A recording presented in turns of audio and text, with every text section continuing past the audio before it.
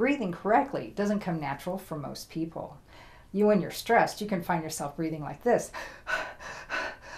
or, worse yet, not breathing at all, holding your breath. Pay attention to see how many times a day you have to remind yourself to take a deep breath. Let's look at what a good breath looks like. Put one hand on your stomach and put another hand on your chest. Now relax and take a deep breath. Does your stomach come out first before your chest? Or did your chest rise and fall without your hand coming out from your stomach at all? A good deep breath means your abdomen is relaxing and expanding. You might even feel it in your back as well. For some people, their stomach moves, but their chest doesn't move at all. For me, a deep breath means my chest moves, but only after my abdomen. A clear way to recognize a good breath is when you go to sleep at night. Lie on your back and relax. I bet your tummy rises and falls with every breath that you take, and your shoulder doesn't move at all. That's a really good relaxed breath. Now, when we turn 35, our lungs start, our lung capacity start to deteriorate. Our muscles become weaker, so we have to exercise them to keep them strong, just like every other part of our body. Our diaphragm muscle is in charge of our lungs. It's right here, and it looks like a giant mushroom head that separates our chest from our abdomen. In order to increase our lung capacity, we can do a diaphragm stretching exercise. Actors do this exercise to calm them down. Let's do this exercise together. I set my metronome to 60, so that's one click for every second. Relax. Now, take a deep breath through your mouth for five counts.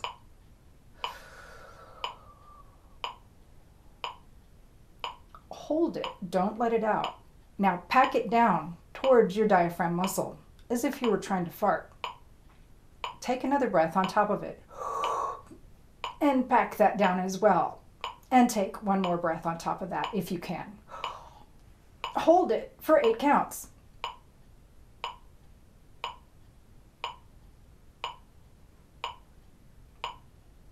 Now, pursing your lips, let the air out slowly for eight counts.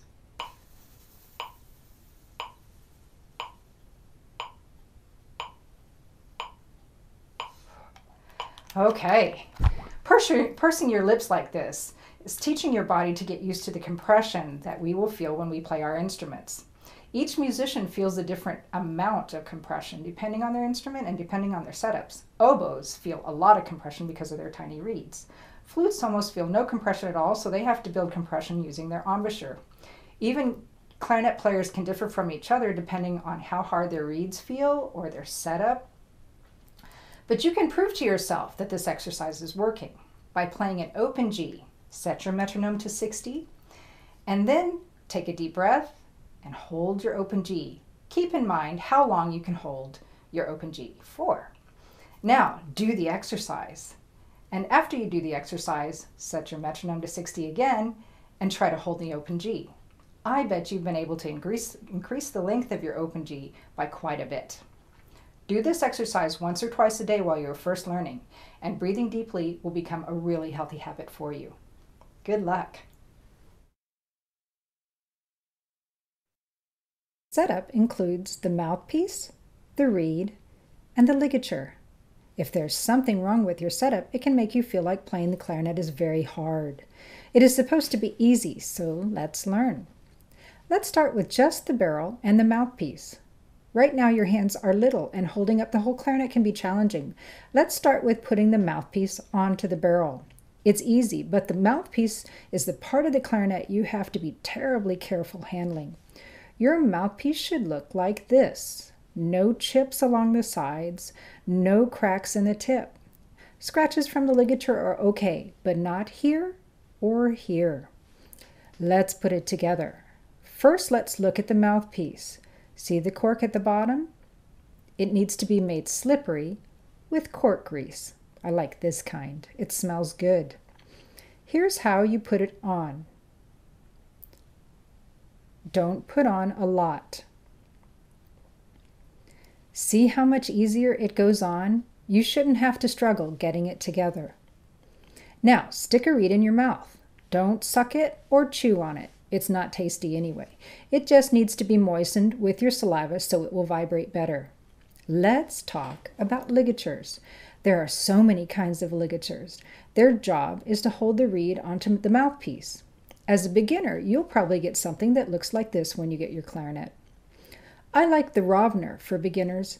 It's not metal and it won't scratch the mouthpiece or crack if it gets over tightened. Do you notice that some ligatures have the screw in the back and some in the front? The ones in the back are called reverse, and they are good if your chin sticks out or hits the screws on regular models. As you get older, you can get fancier ones, but for now, what came with your clarinet is fine. Now, a lot of people put their reed on and then their ligature. I like my students to put the ligature on first, so there's no risk of smashing the tip of your reed or chip your mouthpiece while slipping the ligature on. Put your ligature on first. Lift the ligature up with your finger. Take the reed out of your mouth now carefully slide the reed into that slot you made. Now lower your ligature and tighten or loosen so we can properly align the reed to the mouthpiece. Here's how it should look. Now you try. You're going to be doing this a lot, and I know you're going to be an expert soon. Just in case you forgot your ligature at home, you can always use a rubber band. Takes a little bit more time to put it on, but it works just as well. Clarinets are cool. We're ready to toot. So let's see what we have here. We have our setup, the mouthpiece, the reed, and the ligature. The reed height should be just like this, a tiny bit showing over the top.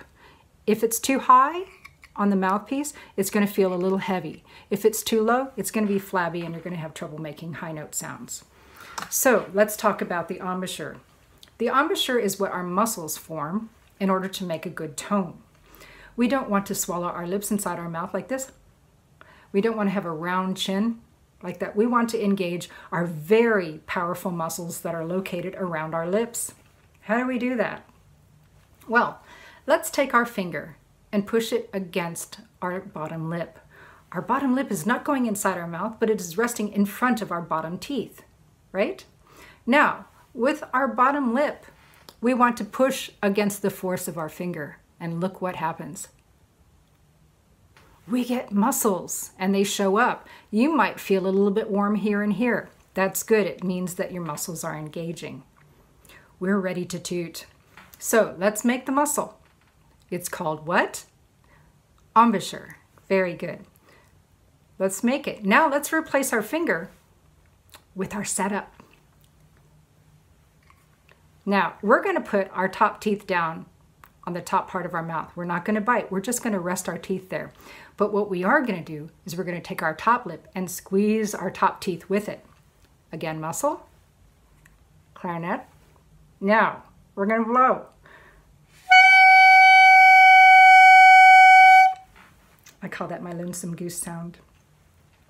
Now, if yours didn't sound like mine, you might not be opening the barrel enough with your hand. You might be like this, covering it up. Make sure you're opening it up. There's an area here that you should stay clear of. And also use your left hand to push up against the muscle that you're, you remember how your, your finger felt pushing against your bottom lip? Use that force. Again, engage these muscles pointy chin, not round, not swallowing your lips. Rest the clarinet, teeth down. I always begin with my tongue, which means actually feel my tongue hitting the tip of this reed, like this. I can feel it. Can you? Put it inside your mouth again. Can you feel it? I like to put my tongue on the reed first and then blow. I feel pressure here and here. That means there's enough gas in the car to start it going, enough air behind the tongue to produce the sound right away. When I feel there's air there, then I let go of the tongue. I pull it back slightly in my mouth. Embouchure first, not like this, but like this. Corners firm, pushing forward, not smiling back, pushing forward.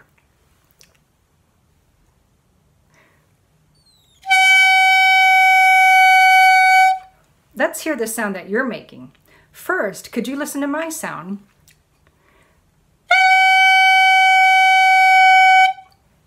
Now, your turn. Does it sound like the same pitch? Ooh, that's quite good. Guess what? We're ready to put the clarinet together.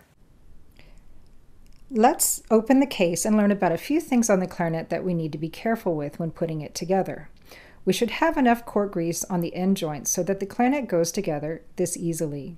If your clarinet is new, it may take a few times of putting cork grease on and putting it together to get the corks broken in enough to go together this easily. Now let's talk about the bridge key. It's a very vulnerable part of the clarinet when putting it together and taking it apart. When you push the first finger down on the lower joint, you will see the bottom part of the bridge key go up. When you push the second finger down on the top joint, you can also see the top part of the bridge key go up.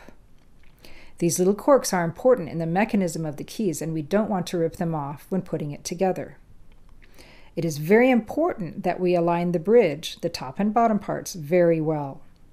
When properly aligned, the top cup will not bounce up and down when we push down the first ring on the lower joint. Let's mess it up. Let's see what it looks like. See the bouncing? That's not good. Let's fix it. We're aligning it much better, pushing it down, and there's no bounce. Good. Check those bridge key corks every once in a while and make sure they are still there. Now let's talk about where we can put our hands when we're putting the clarinet together. It is very important not to grab the clarinet across the bottom rod. These can bend easily, especially on student model instruments. When they bend, they put the cups at the bottom of the clarinet out of alignment. Make sure yours is straight. And are both the bottom cups at the same height? If you look at the left-hand keys, you will see three levers. Mine has four, but most others will have three. If you press this key, the BE key, you can check to see if the first cup on the right side of the clarinet is going down all the way. Also check these keys. This foot in between the levers likes to get bent. Remember not to grab the clarinet by the long rod. You can grab as hard as you like over the keys where your fingers normally go. My favorite place is down here, but you can grab anywhere you feel comfortable as long as it's not on the long rod. Now, let's move on. I'm a little far away from you right now because I wanted to show you something that might happen if you're not careful. If you're like me, you're not blessed with very long legs, and sometimes the chairs at school are a little tall for you. If that's the case, then your thighs are not parallel to the ground. And in that case, when you go to open your case, sometimes, oops, it might go flying. So it's really important, if you're like me, to make sure your thighs are level and that your clarinet will stay, your clarinet case will stay in your lap without your hands touching it. So I have to get up on my tippy toes or I like to wear high heels. But when you open your case, make sure that your knees are up high enough to keep it from falling off. Now the first thing we want to put together is the bottom joint to the bell. The reason we do this is it's a very strong place, you know, to put on your thigh when you need to push it together. So the bell already has a bottom that can rest against surfaces without any damage. You really don't want to rest against any surface, these little delicate spots, because they can chip off. They can be repaired, but it's kind of a drag. So let's put the bell on. This particular bell doesn't have the metal ring at the bottom. Some do, some don't, and I don't really have a preference, but didn't want you to think it was weird. So here we have the bottom joint and the bell stuck together. Notice I did not put my hands on the long rod. We don't want to do that. So I like, my habit is here. You can definitely hold it here. You can squeeze pretty hard. Now we've got the middle, the top joint that we have to put with the bottom joint. So we've got to be very careful again. Remember about the bridge key that is here. So we put our second finger here, and you can grab it like a baseball bat. You're not going to hurt it. And we put our top hand right here, and then we put it together. I've already greased my corks, but you might have to grease them before you put them on. And I think it's a good idea for you to do it while it's still in the case. It makes it easier for you. So it's pretty aligned. It's very nice, nice and straight here. And I've already checked my one in one and there's no bumping here. So I did okay. How did you do? Now we're ready for what? the barrel. So this barrel has a label in the front, as most of them do, and you can align it. Some say it's a big deal. I like the way it looks, but it's not a great big deal. So now what we have left is the thing we have to be very careful with, and that's the mouthpiece. So it's easier to put the mouthpiece on without the ligature and the, the cap, but it makes it a lot more vulnerable. So please be careful. So I've got mine nicely greased, but this is not my normal horn, so it's gonna be a little tighter. And if you notice, I'm pushing pretty firmly against my thigh with the bell. Don't be afraid to do that. You're gonna need that leverage. And once it's there, with no gaps yet, we'll talk about gaps later. We'll put the ligature on carefully so it doesn't nick the tip. And then I really like to put the mouthpiece cap on no matter what right away because it does protect the clarinet mouthpiece if it falls to the ground and your surfaces on the ground are going to be pretty hard. So then I close my case and notice I'm not taking my hand off the clarinet and I put my case on the ground. We're ready to go.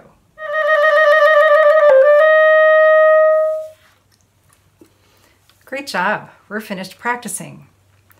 But there are a few important things we need to do to the clarinet before we put it away. The first thing we're going to do is we're going to loosen our ligature and then we're going to push our reed up.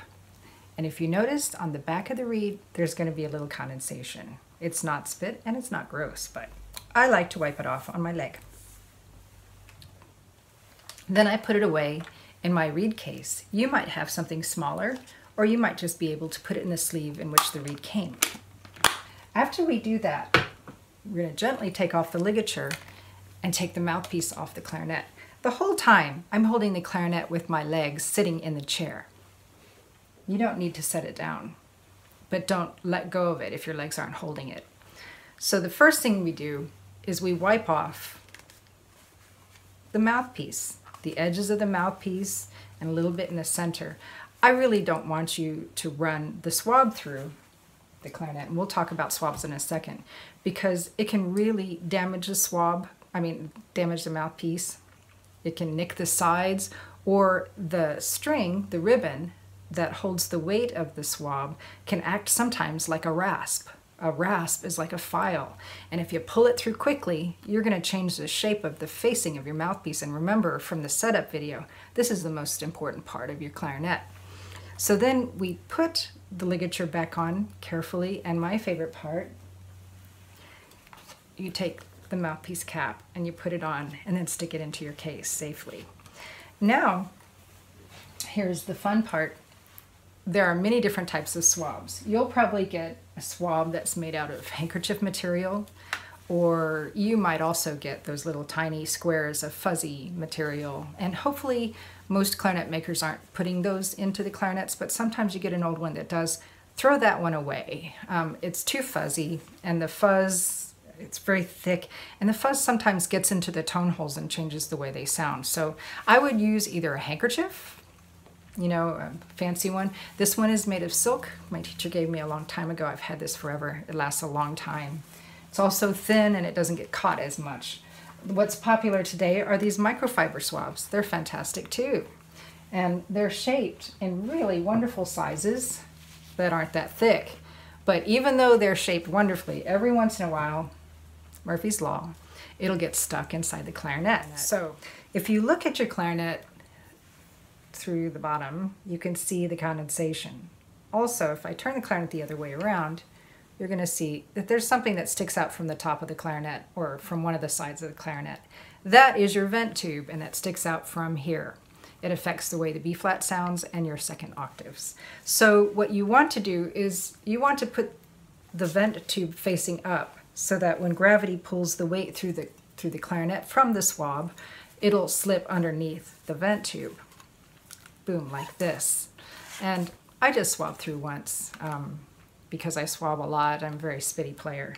So every once in a while, when you're not careful, and you know, some people really love to put their swab through the top and swab down, and some people like to swab from the bell and swab up. I don't really care. Um, I like the bell because it's a bigger hole. so anyway, um, every once in a while, especially when you don't have a lot of time to swab, you're not being careful with the bottom being open. And that's one thing I should probably tell you to do. Try to open this up when you swab. If it's bunched up and stuff like this, and then you pull through here, you're definitely going to get your swab stuck. So if it's open like this, and for some reason, you know, it happens, it's not a big tragedy. Oh, I'm faking, but we're pretending that the swab is stuck. The first thing you should do is see if you got lucky. Take the middle joint apart and see if the swab is sticking up in the bottom. If it's sticking up in the bottom, then you could pull it through this way and you get a second chance at it. But today we weren't lucky and it stuck really good in here. So don't stick anything in the clarinet that doesn't belong there. So if you think you should stick a rod in there, please don't do that yet. Um, try this one method first. Um, just twist the swab, twist the top. And as you can see with my other hand, I'm twisting it the opposite direction. So I'm making the swab skinnier and skinnier and skinnier. And then eventually, oh, it just popped out so easily. So don't panic when that happens and try really hard not to stick things in there yet. Um, and if it's still stuck, you know, ask your band director for help and don't let him stick a rod in there either. Um, or, you know, you can always take it to your music store if it's really terrible. The other thing that might happen when you take your clarinet apart, especially when you first have a brand new clarinet, is this top joint here likes to get saturated with water when it's first new. That's why I like to put a little bit of cork grease. Mine has a metal ring on the top, but some of them have no metal ring on it. Most of them don't.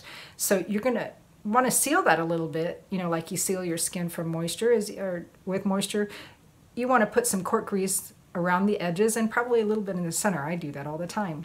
But even when you take really good care of it, we live here in Buffalo and the weathers are harsh, you know, the weather is very harsh here. So it'll get stuck and you're like, oh my gosh, you know, I need to get to my next class. Well, you can leave it with your band director and he can leave it out on the shelf and let it dry out a little bit. If, you do, uh, if it doesn't fit back in your case, and it won't. Or, you know, if you're at home, you can leave it out on the counter, see if it'll change, and then every once in a while come back to it and see if you can break it open or, you know, try really hard not to, you know, against your knee or anything like that or hit it with strange objects. If you're really desperate, and by the nighttime when you're ready to go to bed, it still hasn't come apart, stick it in the refrigerator for about 15 or 20 minutes because the refrigerator is cold and it's dry. And we know what cold and dry does to things in size. It shrinks them. So we can then pull it apart. Don't panic. If you have to, you can always take it to the music store in the morning and they can get it apart. Please also don't try to shave it down with sandpaper. That's just going to be a very bad thing for you to do because it'll change the shape of your clarinet. And that's going to change anyway as it gets older. So one more thing before we can go outside to play is when you look inside the clarinet, these places here, these tenon holes, these tenon joints, they love to collect water. And when they collect water, they become like sponges and then they swell up and then you're going to have that problem with it getting stuck to it together. So I like to take a cloth and wipe it out before I put it away. Sometimes, and I know that you will never have enough time when school starts again, the bell rings and you have to run to your next class and there's still water in there, do this like that and it'll shake the water out and at least you won't have a huge puddle it'll still be a little bit moist try not to shake it on someone else that's rude anyway I really enjoyed practicing with you today, so go outside and have some fun.